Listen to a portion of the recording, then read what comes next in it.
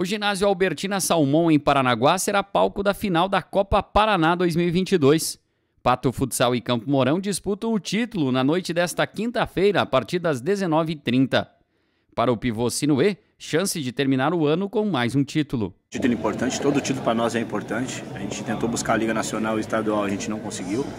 Mas estamos na busca aí. É um jogo importante, é um jogo difícil, contra uma equipe qualificada, né? é um jogo único.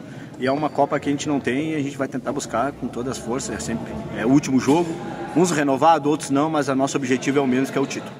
O fixo André comentou sobre o adversário, o Campo Mourão. É, adversário é difícil, dois times é de liga, bem treinado, mas estamos treinando forte essa semana aí para conseguir esse título aí. Como é que tá o André? 100% pro jogo? 100%, 100%.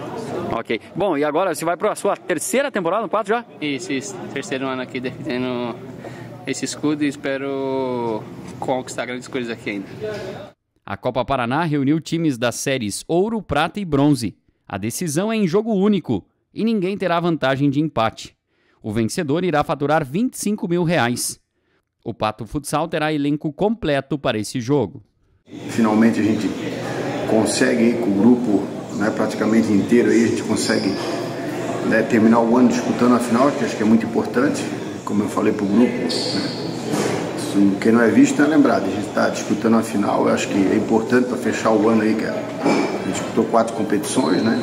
A gente sabe da importância que é sempre estar tá em evidência, porque trabalha no pato. E nada melhor do que a gente né, disputar essa final.